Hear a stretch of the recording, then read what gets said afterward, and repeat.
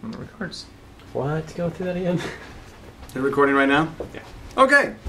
Welcome to Berg Ski and Snowboard Shop Review. We have here today is the K2 Apache Ranger with the integrated marker M10.0 binding on it.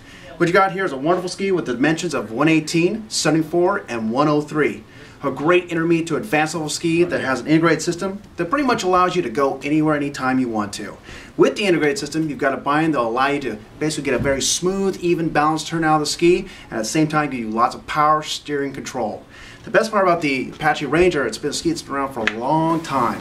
And this ski does a great job of just allowing you to ski any condition, anytime, any place. Either take it off the, off the trail, into the trees, into the moguls, or just on a groomer, any day you want. This ski can really do it all for that person who wants to advance to an advanced level skier.